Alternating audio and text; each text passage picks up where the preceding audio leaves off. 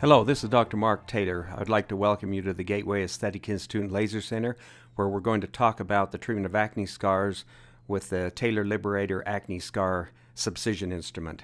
Today we're going to follow this patient who has come in for treatment of acne scars.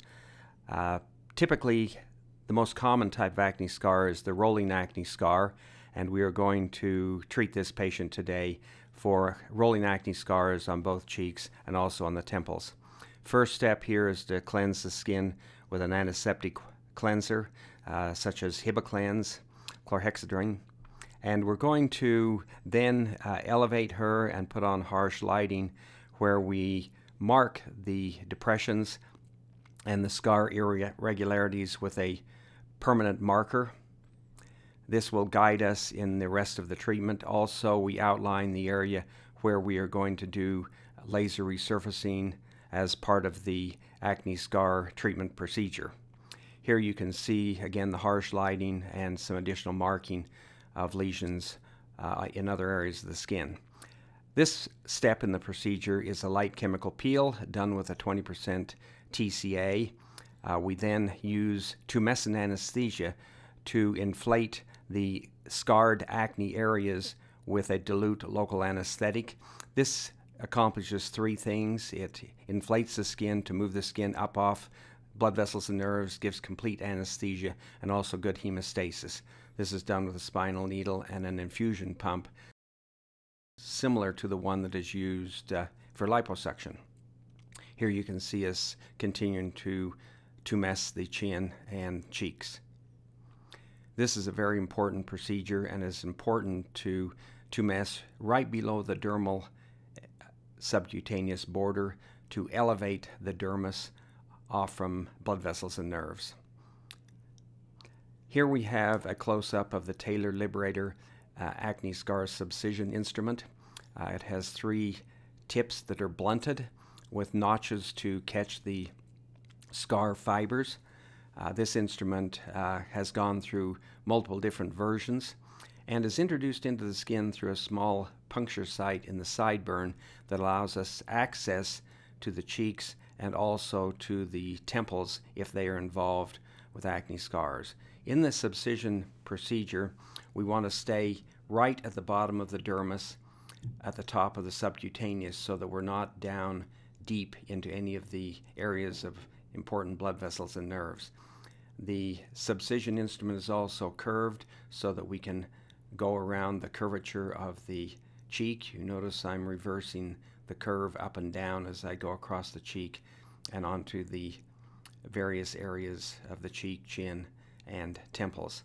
You can actually physically feel the scar bands popping, and the patient will hear this popping sound similar to what one of my patients described as a dog chewing on a bone. Here we're going up onto the temple to release a couple of rolling acne scars that are on the temple in this area. This procedure normally takes us uh, maybe 10 to 15 minutes to complete the subcision of the entire side of the face for the average patient with rolling acne scars. We then draw blood to obtain platelet rich plasma. We use the Eclipse uh, system for this, uh, drawing uh, blood and then spinning it down to obtain the platelet-rich plasma.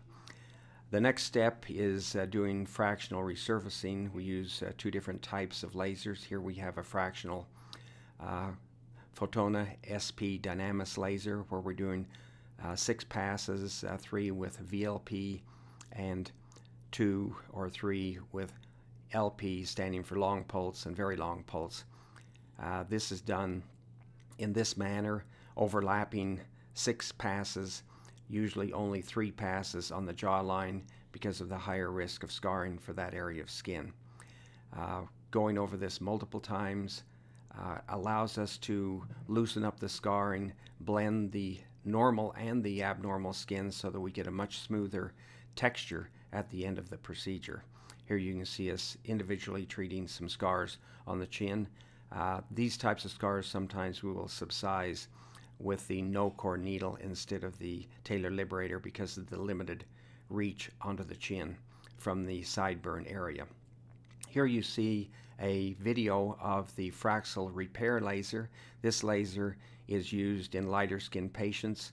Uh, also does a very nice job accomplishing essentially the same thing as the fractional erbium, but is used only in the skin types 1 through 4 because of the slightly higher risk of hyperpigmentation when using CO2 versus erbium. Uh, we treat all skin types with the erbium, including skin types 5 and 6. The most important thing after this treatment is total sun avoidance until the skin has returned to normal color to reduce the risk of post-inflammatory hyperpigmentation. We cool the skin with ice saline and sterile gauze to absorb any blood and transudate from the procedure. We allow that to soak for a few minutes.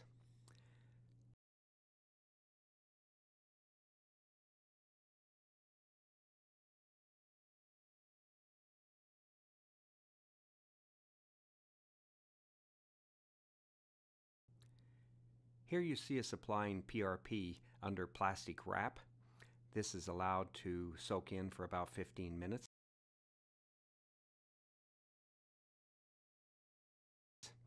We lay some sterile cooled saline gauze over this to apply additional cooling and then expose the skin to 810 nanometer diode light. This reduces the swelling and also accelerates the healing process. Here we are applying a thin layer of clindamycin 0.5% in Plastibase. We have this compounded to reduce the risk of antibiotic sensitivity that may occur with other topical antibiotics.